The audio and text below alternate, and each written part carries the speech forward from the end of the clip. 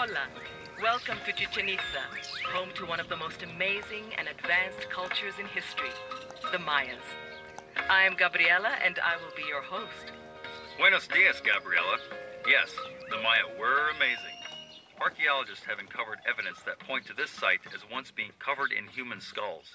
I mean, we're only sort of just started listening, and straight away it's like violence. It's just what they used to do with all like these dead heads.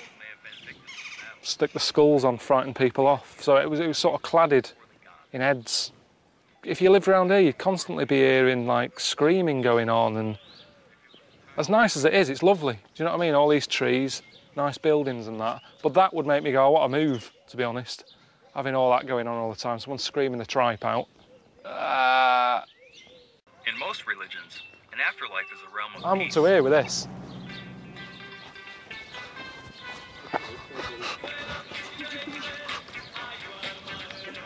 Just can't get enough. Just can't get enough.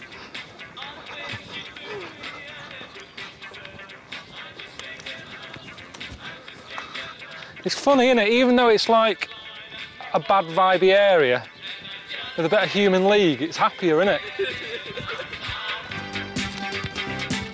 Oh, ah, yeah.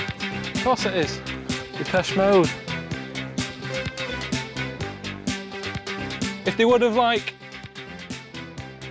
televised the sacrificing, Sky TV having this, just can't get enough. Cut another one off.